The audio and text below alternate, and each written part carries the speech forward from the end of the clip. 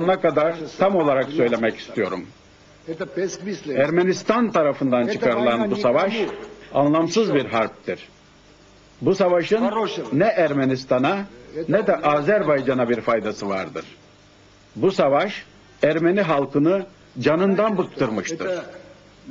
Bunun Azerbaycan halkı için de geçerli olduğunu sanıyorum. Bunun için bu savaşı bitirmek gerekir. Ben uluslararası kamuoyuna sesleniyorum. Ve bu basın toplantısında dünyanın çeşitli yerlerinden gelen basın mensupları da vardır. Bunlardan ricam şudur. Bütün dünya kamuoyuna bu durumu iletsinler ve bu anlamsız savaşı bitirsinler. Kendi yetkime dayanarak şöyle diyebilirim. Bu savaş kardeş halklar arasında yürütülüyor. Çünkü bildiğiniz gibi biz senelerce yan yana barış içinde yaşamışız. Şahsen ben Bakü'de iki yıl öğrenim gördüm. Aynı tuz ve ekmeği bölüştük. Şimdi ise bu tuz ve ekmek kana dönmüştür. Bu korkunç bir şeydir. Duygularımı ifade edecek kelime bulamıyorum. Yaptığımız şeyler vahşicesinedir. Ben sizlerden yani dünya basınından çok rica ediyorum. Kendi devletlerinizin bu işe karışmasını sağlayın ve onlar bu savaşı sonuçlandırsınlar. Если вы будете в силах в ваших странах, поднимите голос ваших, ваших правительств, чтобы они вмешивались в это дело. И быстро кончилось все это. Tekrar 1905 yılına dönelim ve taşnakların geçmişten günümüze işledikleri cinayetlere bakalım. 1905 yılında Bakü'de başlayan çatışmalar bütün Azerbaycan'a yayıldı ve iki yıl sürdü. Taşnak Sutyun cinayet şebekeleri her taraftan masum insan kanı döktü. Çiftçileri, köylüleri vahşice katlettiler. Ruslar bu katliamlara seyirci kaldı, hatta teşvik ettiler. 1918-ci ildə Bakıda Sovet hakimiyyəti adı altında Şamyan daşnaqların böyük Ermənistan yaratmaq planını həyata keçirməyə başladı. Və bunun üçün o Sovet hökumətinin Şamyana verdiyi hüquqlardan, yəni Leninin imzası ilə ona verilmiş mandatdan istifadə etmək, istifadə edərək Bakıda Azərbaycanlıların qırğınını təşkil etdi. Mart ayının 31-dən aprelin ikisinə qədər davam edən 3 gün ərzində Bakıda dağılmayan Azərbaycanlı evi, Azərbaycanlı dükanı, Azərbaycanlılara məxsus e, mətbəələr, xeyriyyə evləri qalmadı. Minlərlə Azərbaycanlı bu günlərdə ermənilər yaxdılar, ermənilər məhv etdilər, ermənilər güllə buran etdilər.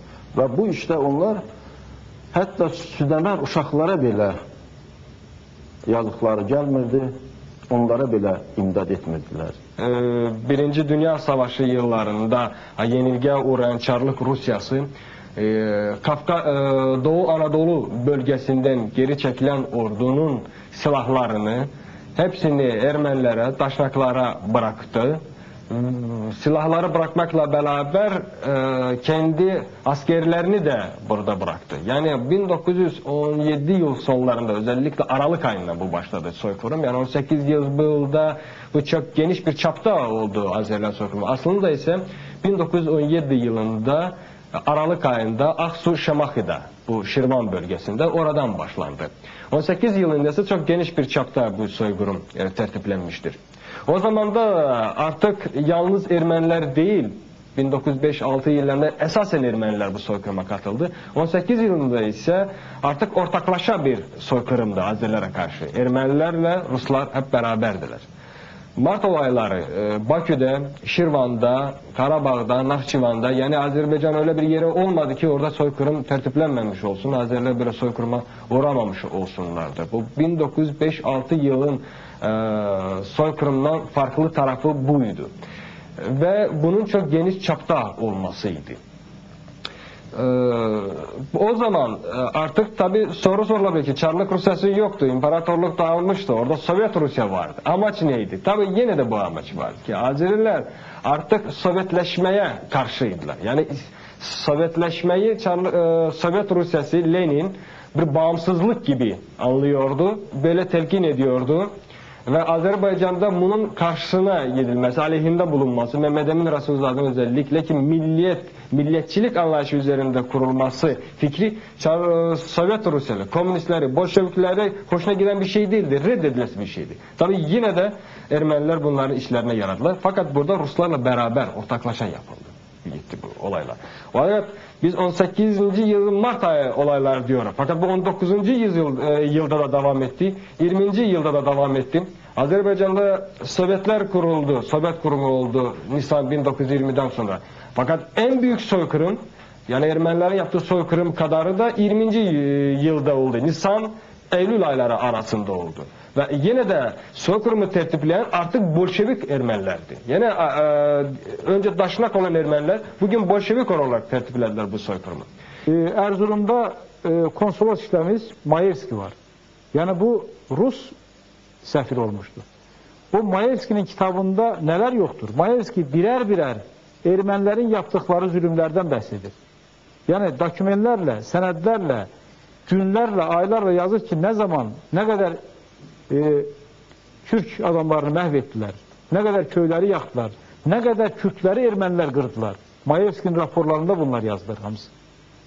Bunları mənə elə gəlir ki, Türkiyədə də bu kitabların hamısını bir ümumi araşdırma səviyyəsində hazırlamaq la- lazımdır və həm tarix üçün qalsın deyə, həm də bugünkü Türk məmləkətlərində, eyni zamanda dünya siyasətində aydın olsun, görülsün ki, ermənilər nə zülümlər yapmışlar və ermənilər dünya siyasətində hansı formada, hansı qaydada e, siyasi olaylarda kullanılmışlar.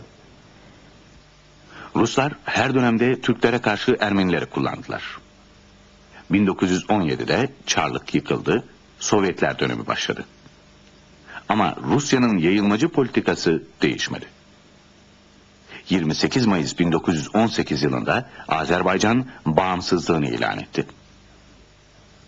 Rusya'da ihtilal kargaşası yaşandığı için Sovyetler bir süre buna ses çıkarmadı.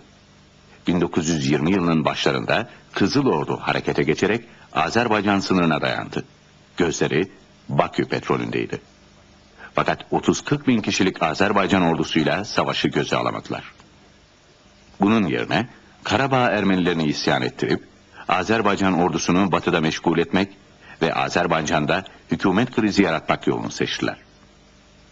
Savunma gücü zayıflayan Azerbaycan, yerli işbirlikçilerin de baskısıyla siyasi bunalıma girdi ve Sovyetlere katılmak zorunda kaldı. Bolşeviklerin diyelim ki e, Azerbaycan'ın aydınlarını e, ileri gelmiş bu kişilerini artık başka türlü soygurma uğrattılar. Ne oldu bu? Pantürkist damgasını vurmakla, millet düşmanı olarak. Kimlerdi bunlar? NKVD'de de şimdiki KGB diyoruz, Çekistler. Hep Ermenilerdi bunlar. 49 yıl olaylarında. Yine bu devam etti gibi. 40'lı yılların sonlarında bizde Azerbaycanlı aydınlarımıza karşı bu soykırım başka bir şekilde gitti. Yani sürgünler şeklinde gitti. Yani insanı fiziksel şekilde öldürme değil de maneviyatını öldürdüler. Kosmopolit bir kişiler varmış diye Sovyet sistemine karşı kosmopolitik davranan bir kişiler. Böyle soykırım gitti. 88 olaylarına gelelim. 88 yıl e, olaylarında da aynı şey.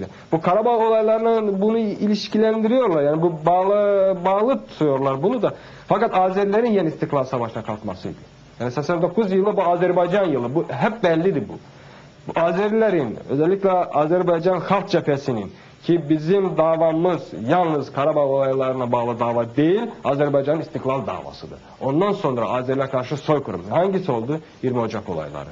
Ee, 1990 yılı olayları. Yani bunlar hep e, 19. yüzyıl başlayan bu yıla kadar Azerilerin hep istiklaline karşı, Azeriler istiklal davası savaşı e, giriştikleri andan hep Kafkasya'daki yalnız ve Ermenileri kullandılar ve Ruslar onlar ortaklaşa olarak bu İstiklal Savaşı yok etmek için böyle çabalarda bulundular. Çar Rusiyası dövründə yeridilən siyasət Sovetlər dövründə də müəyyən formada, başqa şəkildə davam etdirilirdi. Məsələn, rəsmi Rus Rusiya dövlətinin sənədlərində o zaman göstərilirdi ki, bütün dünyadakı o ermənilərin hamısını toplayıb, yığıb indiki Ermənistan ərazisinə gətirmək lazımdır və bunları bizim himayəmizdə saxlamaq lazımdır və bunlardan öz siyasətimiz üçün istifadə etmək lazımdır. Həmin siyasət sonra isə başqa şəkildə Sovetlər dövründə davam etdirildi. Bu da ondan ibarət oldu ki, xaricdən erməniləri öz vətənlərinə qaytarmaq bəhanəsi ilə Ermənistan ərazisindən Azərilər, Azəri türkləri və kürdlər yavaş-yavaş çıxarılmağa başladı və xarici ölkələrdən gələn ermənilər həmin kəndlərə yerləşdirilməyə başladı.